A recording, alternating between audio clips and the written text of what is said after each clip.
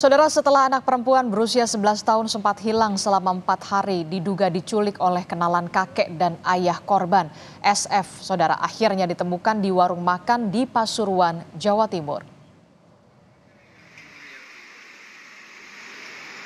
Setelah hilang selama empat hari, akhirnya anak perempuan berusia 11 tahun ditemukan. Anak ini ditemukan di warung makan pinggir jalan raya kawasan Ngopak, Kecamatan Grati, Pasuruan, Jawa Timur, Minggu dini hari tempat di mana pelaku meninggalkan korban. Orang tua korban tak kuasa menahan tangis saat melihat anaknya akhirnya ditemukan. Keberadaan SF diketahui setelah pelaku menghubungi kakek SF dan memberitahu posisi korban yang sendirian menunggu di warung makan. Sementara terduga pelaku penculikan kabur dengan mengendarai sepeda motor kerabat korban. Saya, bapak ada di mana? Nah, saya hubungi kok, udah ada ada bapak saya di Pasuruan. Berarti teleponnya ditinggal sama pelaku ya? Iya, Terus pelaku sendiri kabur? kabur. Bapak udah lama kenal pelaku?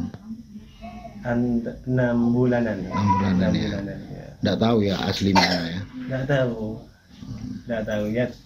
Kenalnya di jalan di kota. Sebelumnya SF sempat menghilang setelah berpamitan jajan bakso ditemani oleh terduga pelaku.